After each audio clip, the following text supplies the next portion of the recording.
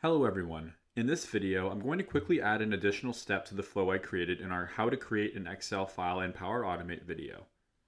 This step will allow us to begin editing our new Excel document and set a few cell contents all within the Power Automate flow diagram page.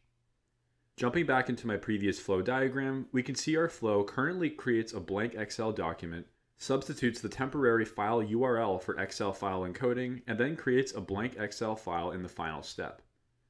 Right after the initial step creating the Excel file, let's click New Step and type CloudMersive into the search bar once again. From here, we're going to select the CloudMersive Document Conversion Connector again, and once we reach the actions list, we're going to search for Begin Editing Document.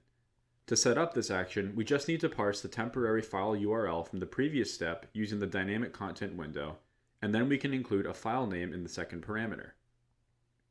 After we've included the file name, we can click New Step again between the begin and finish editing actions we previously created. We can once more navigate to the CloudMersive Document Conversion connector, and from here, we can search Set Update Cell Contents and select the proper action when it comes up below. Once we open this action, we'll see that it has a lot of different parameters, and most of them are optional depending on the degree to which we want to customize our new cells. Up top, we can specify the cell identifier and cell reference, and below that, we can specify a formula, style index, and text value of the cell we want to fill out. For the sake of time, I'm going to do the bare minimum in this step. First, I'm entering a cell ID, and after that, I'm entering a sample text value. Then, importantly, I'm adding the temporary URL path into the input file URL field via the dynamic content window. This part specifies that we're attaching this action to the Excel file we originally created. Once we finish customizing our cells, we're almost done. Now, we need to jump back into the Finish Editing Document action and swap out the original temporary URL. Our new temporary URL needs to belong to the cell customization step and we can easily parse that in using the dynamic content window like we did before.